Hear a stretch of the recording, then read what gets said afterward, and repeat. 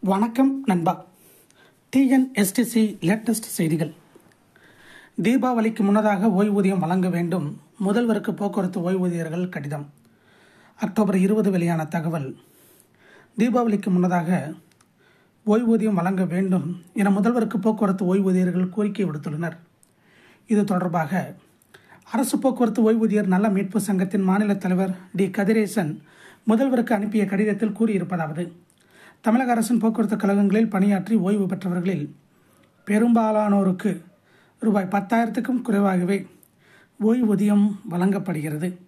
இத்துடன் வழங்கப்படும் அகவிலைப்படி உயர்வை கடந்த ரெண்டாயிரத்தி பதினைந்தாம் ஆண்டு நவம்பர் மாதம் முதல் அரசு நிறுத்திவிட்டது. இது தொடர்பாக பல்வேறு போராட்டங்களை நடத்திய போதும் அரசு கண்டுகொள்ளவில்லை. இந்த விவகாரத்தில் ஓய்வூதியர் நலச்சங்கங்கள் சார்பில் தொடரப்பட்ட வழக்கில் அகவிலைப்படி உயர்வு வழங்க வேண்டும் என உயர்நீதிமன்றம் உத்தரவிட்டது. ஆனால் அரசு மேல்முறையீடு செய்ததால் வழக்கு நிலுவையில் உள்ளது. இத்தகைய சூழலில் நலிவடைந்து தவித்து வரும் ஓய்வூதியர்களுக்கு வழக்கமாக ஐந்தாம் தேதி வழங்கப்படும் ஓய்வூதியத்தை தீபாவளிக்கு முன்பாக வழங்க வேண்டும் என்று கூறப்பட்டுள்ளது. இது போன்ற போக்குவரத்து துறை அப்டேட்டுகளை உடனுக்குடன் தெரிந்து கொள்ள நம்ம சேனல் சப்ஸ்கிரைப் பண்ணுங்கள் ஷேர் பண்ணுங்கள் லைக் பண்ணுங்கள் நன்றி வணக்கம்.